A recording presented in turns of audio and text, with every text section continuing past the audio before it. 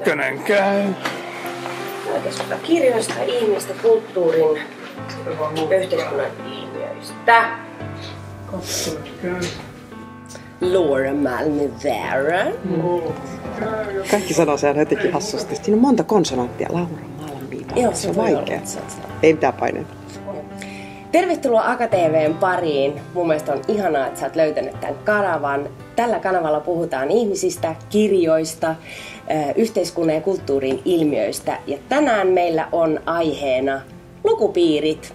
Kirsin Book Club, kirja, blogi ja lukupiiri. Tervetuloa Kirsi Ranin. Kiitos. Ja sitten äh, Lauri, äh, Lauri. Ei kun se, se voisi se olla Laura, mutta Vois se on Laura. olla. Mm. Mm. Ja Laura Malmivaara myös täällä. Tervetuloa. Sulta on tullut Vaiti-kirja äskettäin ja se on tällä hetkellä lukupiirin luvussa, eikö niin Kirsi? Kyllä, meillä on itse asiassa tänä iltana lukupiiri kokoontuu ja me keskustellaan nimenomaan Lauran Vaitikirjasta. Jännittävää. No varmasti. Mutta hei Kirsi, aloitetaan tuosta sun kirjasta, koska sultakin on tullut äskettäin kirja. Lukupiiri, äh, kirja. Äh, kenelle sä kirjoitit sen?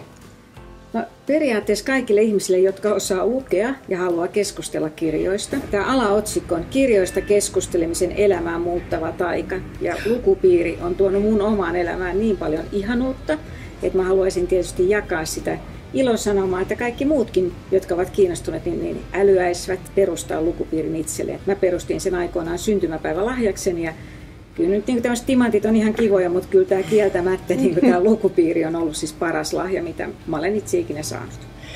Miten susta Kirsi tuli tommonen kirja-aktivisti? 2010 tuli äh, Kirsin Book Club, mutta jo ennen sitä niin sähän oot harrastanut ja myös ehkä kirjoittanut itse. Joo, mulla on siis pöytälaatikossa yksi kirja. Sen mä olen tehnyt aikaisemmin, mutta mä asuin siis Bangkokissa, mä oon asunut pitkään Aasiassa ja tota, siellä pääsin tämmöiseen kansainväliseen lukupiiriin. Ja me oltiin kaikki, no ei nyt ehkä ihan kaikki, siinä oli ehkä useampi amerikkalainen, mutta siis äh, melkein kaikki eri maista ja sitten siellä käsiteltiin kirjoja.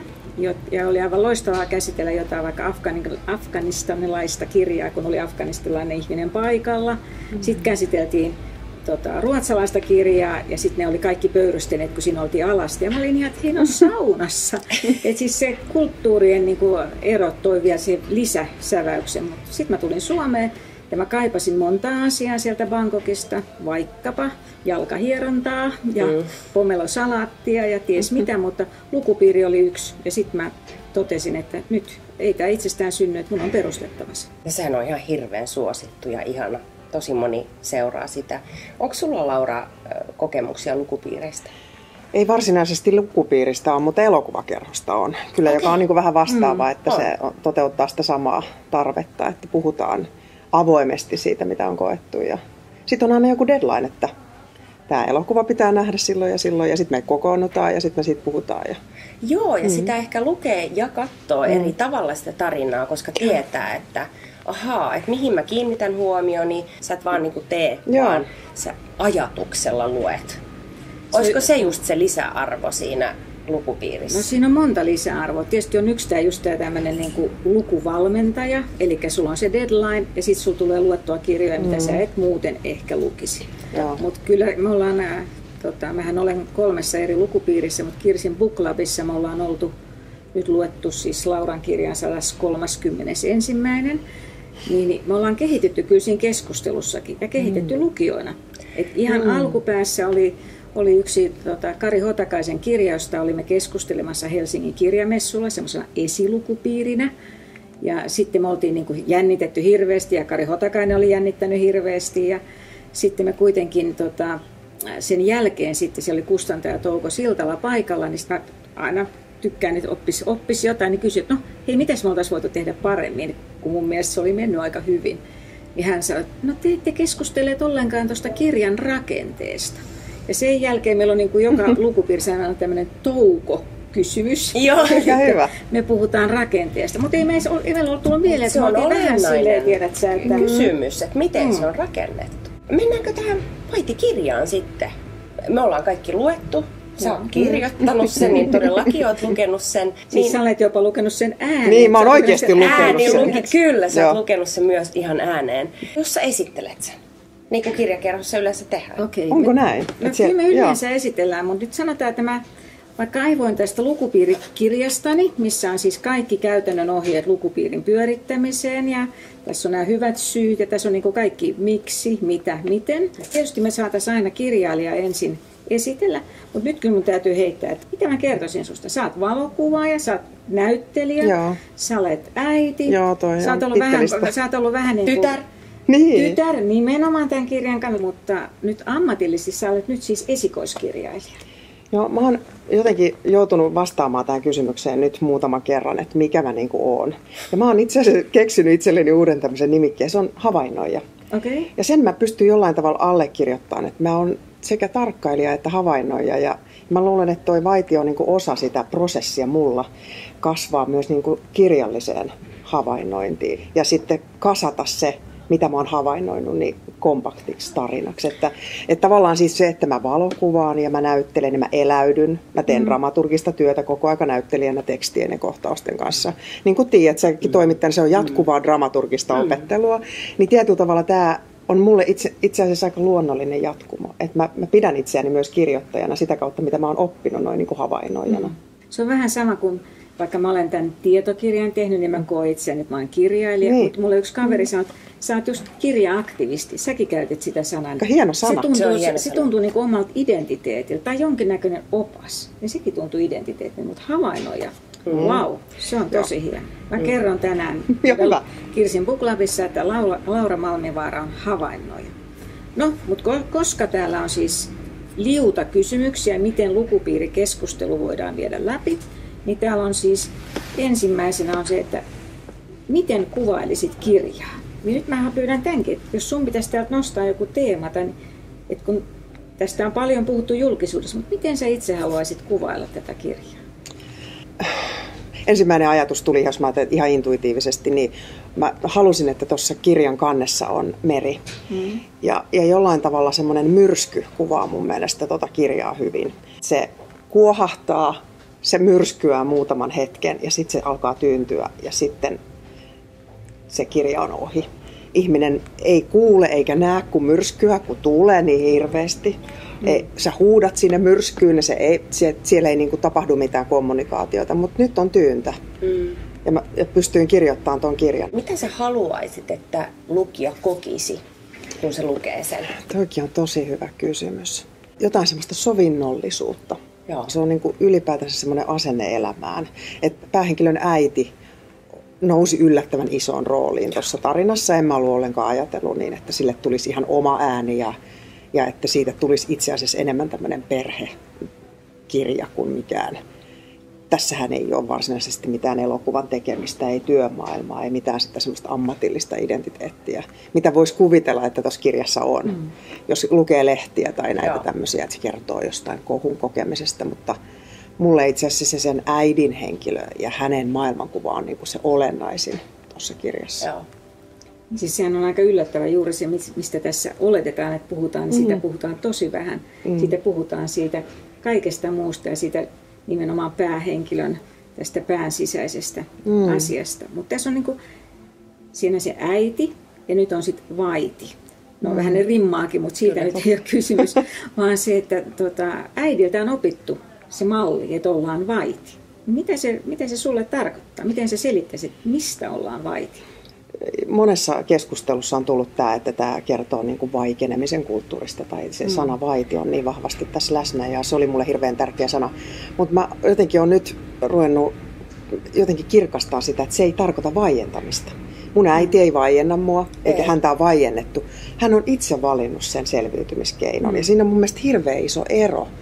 Että ei mua ole kukaan, ei mun kollega eikä kukaan sanonut, että, että tota, valitse, joko sä oot hiljaa tai sä puhut. Vaan mä oon itse tehnyt sen tulkinnan ja päättänyt olla hiljaa. Mm. Et siinä on, ehkä siitä se enemmän kertoo, että mun äiti on selvinnyt sillä, että se on tietysti tilanteissa vetäytynyt ja päättänyt vaan olla oman perheen kesken.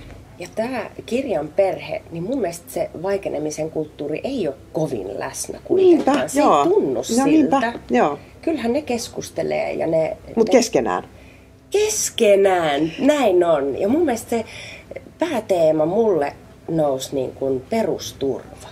Mm. Turvallisuus ja tietty rakkaus, mutta se perheen turva ja rakkaus, se oli mun mielestä ihan hirveän kaunis. Mm. Mulla tuli semmoinen olo, että tämä päähenkilö, joka on osa varmasti sinä, niin mm.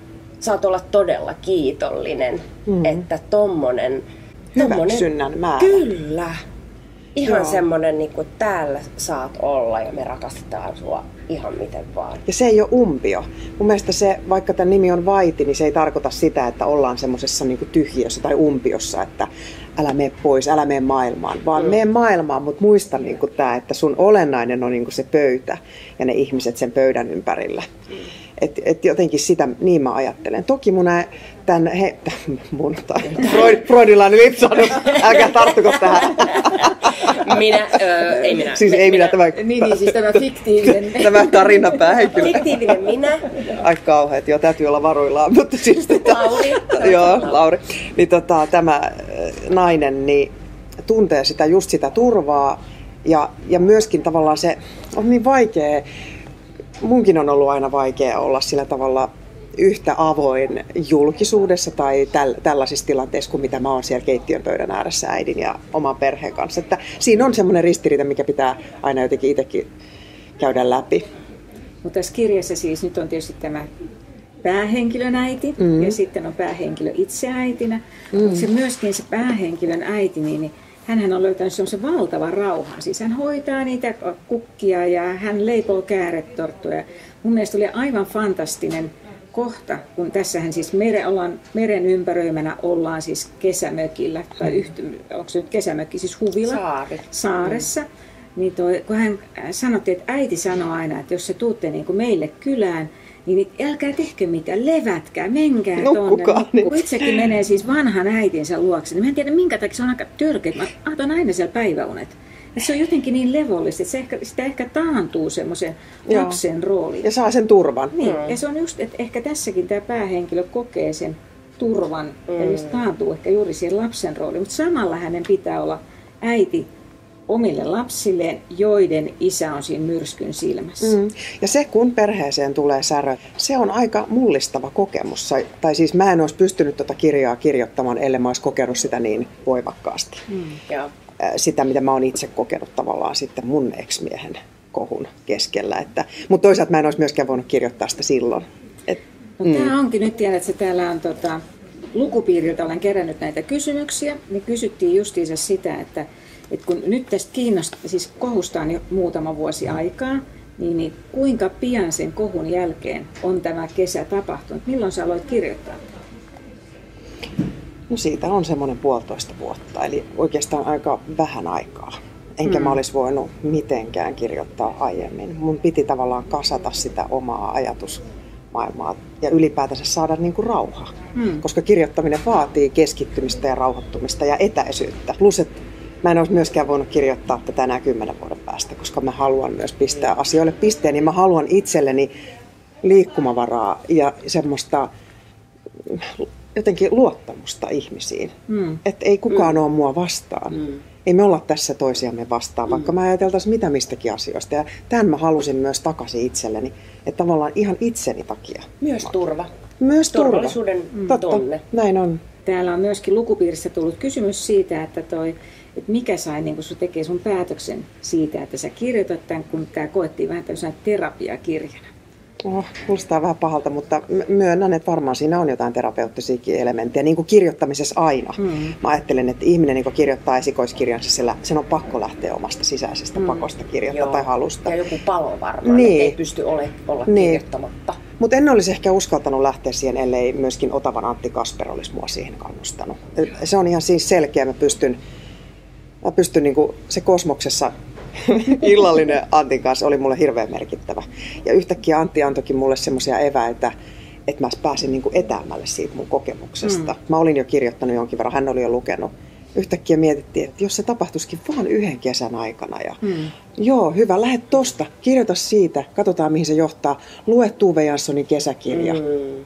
Ai jaa, Tuve mm. Janssonin kesäkirja. Okei, mä menin heti lukemaan tämähän on aika ihana mm. pitkästä aikaa. Tällaisia se niin kuin tavallaan joku auttaa sut matkaan ja sitten se vie jonnekin. No nyt kun mä sanon, että mä oon siis yli 10 vuotta sitten kirjoittanut sen romaanin sinne pöytälaatikkoon, niin onko sulla siellä pöytälaatikossa jotain, että tavallaan ootko sä kirjoittanut aina? Olen kirjoittanut ennenkin ja mä hyödynsin pöytälaatikkoa myös kyllä tohon, mm. että, että mulla on paljon sieltä just oman avioeron aikaisia tekstejä, proosarunoja, semmoisia tajunnanvirta oksennuksia, mitä ei välttämättä sellaisenaan voi mm. käyttää, mutta olen rakentanut niistä kohtauksia.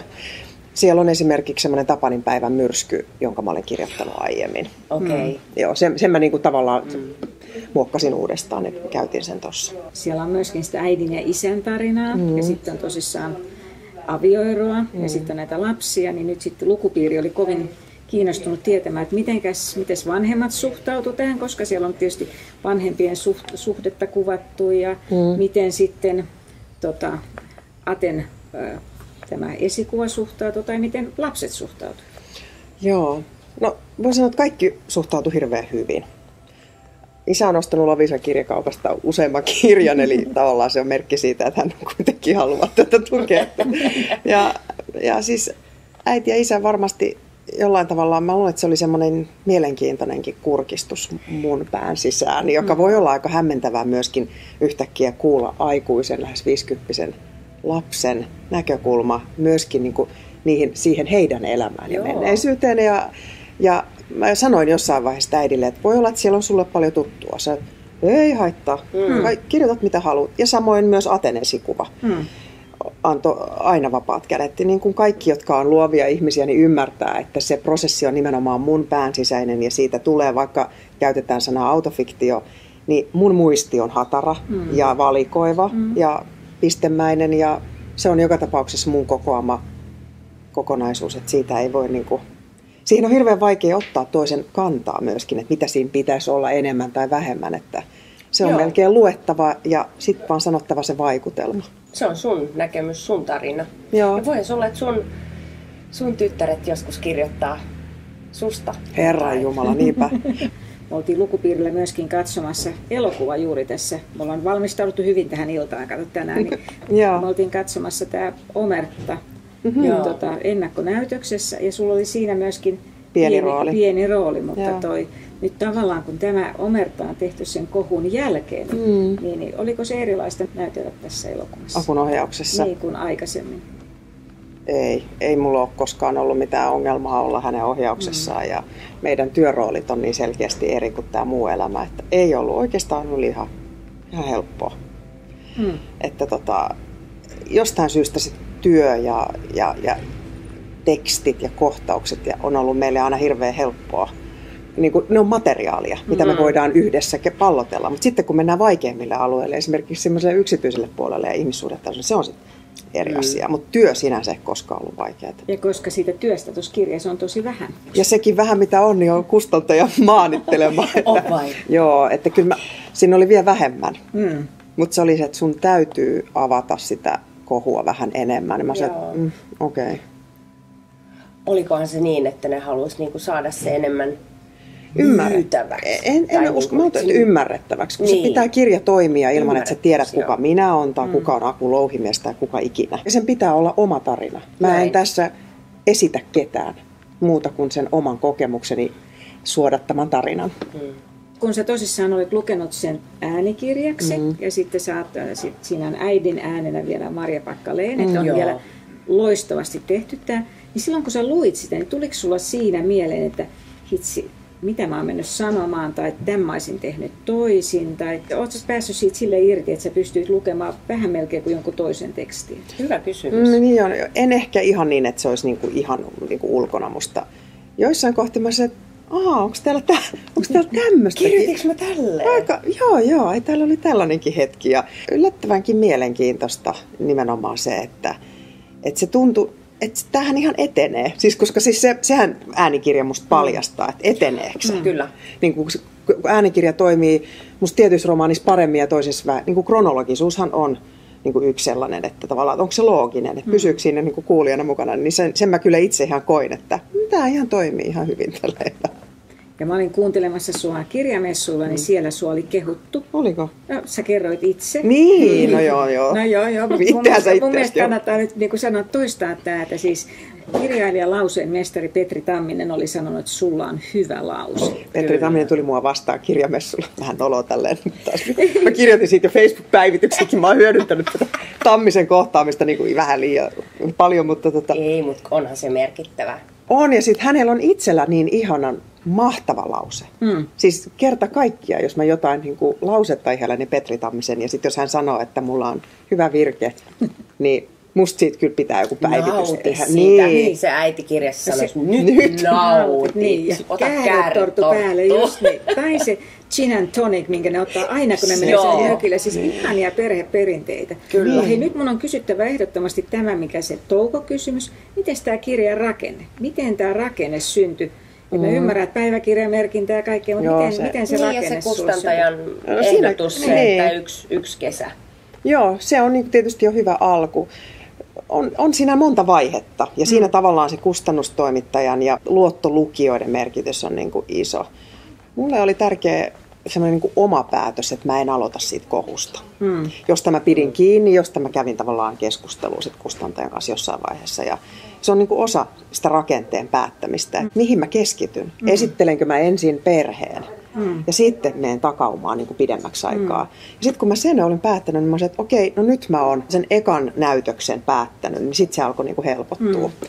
Ja toinen oli sitten se, että voiko jotkut asiat jäädä ratkaisematta. Mm. Et sekin on tietyllä rakenteellinen kysymys, että asiat vaan jää ilmaan. Mm. Et jotkut sanoivat, että pitäisikö ton niinku päättyä niinku selkeämmin. Mä sanoin, että ei, se vaan jää auki. Koska elämässäkin asiat helposti jää niin kuin auki. Mutta onhan tässä aika hieno päätös myös, että siellä on sitten kuitenkin ko- niin kuin kokoonnuttu mm. yhteen lapsen synttärijuhlille. Niin, niin. Aika niin kuin joka on tietyllä tavalla myös sen yhteishuoltajuussopimuksen raukeaminen. Et sen yhtäkkiä mä oivalsin, että tämä on tärkeää, että sopimukset raukeaa. Ja silti ihmisten väliset suhteet jatkuu, mutta sopimukset Joo, raukeaa. hyvä. Niin, että siinähän on jo siis kesämökin omistussopimus Joo. rauennut, siinä on Joo. avioliitto rauennut, Just. huoltajuus tosissaan. Joo. Ja sitten ehkä se on se tyven tulee myöskin sen myrskyn jälkeen niin kuin muuten, niin kuin sä itse tuossa äsken Joo. kuvasit. Myös oli mulle hirveän tärkeää saada sinne loppuun tietyllä tavalla sitä kehollista irtipäästämistä siitä vi- vihan tunteesta. Että, että mä, mä aristelin kirjoittaa sinne semmoista lausetta ensimmäiseen kohtaamiseen äidin ja isän kanssa siinä ruokapöydässä, että, että päähenkilö sanoi, että mä tunnen niin kuin naisvihamielisyyttä.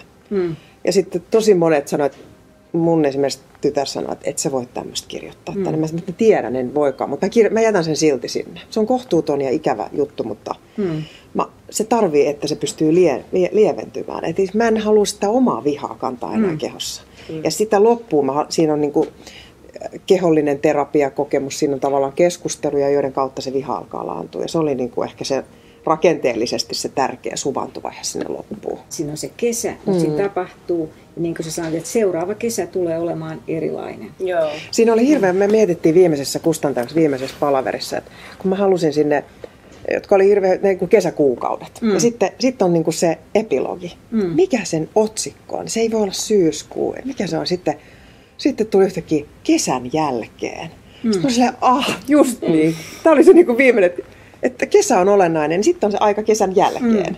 Niin ajattele, kuinka nämä nyt kuulostaa yksinkertaiselta. Joo, mutta vitsi se on se on että- selvyys tavallaan sit, kun se on Kun sä luet, se niin. ratkaisu. Joo. Mutta niin on helppo ihanaa. ratkaisu voi olla joskus niin tuskallista silleen, ennen kuin sen tajuaa, että okei, joo, näin se on. Kun sä sanot, että sä oot saanut tästä siis palautetta, niin eroaako tämä palaute siitä, mitä sä oot saanut niin kuin silloin, kun sä oot ollut näyttelijänä tai valokuvaajana? Tosi paljon. Se on henkilökohtaisempaa. Mä saan niin kuin kontaktin niihin ihmisiin ihan toisella tavalla, niihin tuntemattomiin ihmisiin mm. ton kirjan kautta. Mm. Ihmiset on kertonut omista äitisuhteistaan ja omasta vanhemmuudestaan, omista kriiseistään, jotka on vaientanut omalla jostain syystä. Mä oon tosi kiitollinen jokaisesta, on vastannut jokaiselle jotain, koska mun mielestä on niin arvokasta, että ne kaivaa mut somesta, laittaa sen yksityisviestin ja kirjoittaa, että kiitos, että kirjasi kosketti mua. Ja mä laitan, että kiitos, että luit tai kuuntelit, molempi, miten vaan. Että, että en ole koskaan kokenut tällaista ennen. Mutta nyt mä palaan vielä tähän, että jos sä oot saanut palautetta, mikä on henkilökohtaisempaa, niin koet sä nyt sit itse tavallaan taiteen tekijänä, niin onko tämä mennyt lähemmäksi sun sielua kuin näytteleminen tai valokuvaaminen, tai onko tämä jotenkin intiimimpi taiteen laji? Oh. Musta tuntuu, että ei ole paluuta enää johonkin sellaiseen etäiseen näyttelijäidentiteettiin, wow. että eikä tarvikkaa. Mä oon avannut jonkun, tiedätkö, semmoisen oven, josta ei ole enää paluuta. Niin, no, ei niin, että pitäisi olla vereslihalla koko aikaa, mm. eikä tarvitse koko aika kertoa jostain omasta elämästä, mutta mä oon avannut jonkun oven, josta ei ole niin enää paluuta. Eli on tulossa lisää kirjoja sulta. Uusi illallinen kosmoksessa. Heti, katellaan. Mä epäilen, että se on pidetty jo kyllä. mm, ainakin sovittu. niin. Eli siis todennäköisesti. Siis, mutta sulla jatkuu kuitenkin, kysyisikö näin, että mitä tämä kirjan kirjoittaminen on tuonut sun muuhun taiteeseen? Vitsi, tosi hyviä kysymyksiä. Mm, mä oon ruvennut luottamaan enemmän myöskin siihen, että sen oman näkemyksen kirkastaminen on tärkeää. Et, et mä voin sekä valokuvaajana että näyttelijänä mm. koko aika luottaa siihen, että täytyy uskaltaa tuoda oma sisältö ja oma mm. näkemys. Sä et enää pitäydy vaiti niin kun, jos sä oot omasta tahdosta ollut, niin, niin nyt sä oot avannut senkin oven sitten. Se on ainakin raolla. Joo. mä ajattelin, että me voitaisiin vielä tähän loppuun, mä voisin kertoa, että mä luin just myös kirjan, jossa lukupiiri on suuressa osassa. Liisa Marklundin toi napapiiri, Joo. Pool Circle. Pool Circle on itse asiassa lukupiiri, joka, jota kutsutaan napapiiriksi, niin ihan niin kuin vinkkinä teille AKTVn katsojille ja myös teille, että siellä on tosi paljon, no kyllä ne käy läpi niitä kirjoja myös, ja, mutta se tarina on tietty muu, mutta siinä sivutetaan se sama maailma. Ja se on mun mielestä tosi mielenkiintoista. Siis mä olen lukenut sen, kun mä tietysti Oletko? poimin kaikki kirjat, missä olisi vähän lukupiiriä. Ja olen siis kirjoittanut siitä blogijutun kirsinpukla.comin, kun tähän mainosväliin. Siinä lukupiirissä Nehän on nuoria tyttöjä, mutta ne siis aina esittelee sen ja käy keskustelua. Mutta onneksi siinä on yksi juttu, mitä meillä ei ole, koska siinähän siis yksi niistä lukupiiriläistä katoaa hmm. ja löytyy sitten päättömänä 40 vuoden päästä. niin, Kyllä, näin on. niin mä sanon, että kaikki näistä kirjoista on hyvä ottaa vinkkejä, mutta tämä ehkä on nyt kuitenkin se, mitä se toivon, että ei missään lukupiirissä tapahdu. Että tämä on iloinen harrastus. Turvallinen. Turvallinen harrastus. No, se, että millä innolla siihen myös heittäytyy, niin siellä kanssa sitten se ilmapiiri pitää olla turvallinen. Et, se on vähän semmoinen, että mitä puhutaan puklabista niin, klabissa niin, tai lukupiirissä, niin sitä ei se puhuta sitten ulkopuolella. Ja vedän esimerkiksi yrityslukupiiriä, niin siellä on oikein sovittu, että nämä on nyt sitten semmoisia juttuja, että te ette rupea sanomaan, kun on työpaikan piiri, että me ette sano, tiedättekö te mitä se sanoo, että se kertoo mm. omasta elämästä, että silloin on ollut tämä. Ei, että ne on niin kuin se luottamus täytyy olla siinä niin kuin missä tahansa Totta. tämmöisessä yhteisössä. Safe place, mm. näin on. Hei, kiitos Laura ja Kirsi tosi paljon vierailusta. Tämä oli mun mielestä ihana keskustelu. Kiitos. Ja mä haluan nyt perustaa kiitos. tosi nopeasti lukupiirin. No niin, hei tästä kaikki ohjeet. Joo, mä haluan johonkin lukupiiriin. niin, hei. Tuletko meille tänään kanssa vieraaksi niin illallakin? hei, kiitos, kiitos, kiitos AKTVn katsojat. Muista eh, tilakanava, peukuta, kommentoi, nähdään taas. Miksi mä en ole missään lukupiirissä? Nyt rupes oikein. Niin, mulla on ihan sama. Mä oon ollut kerran, mutta siitä on aikaa. Ja... Tuleeko siitä paine sitten, että apua nyt noin paksu luettavana?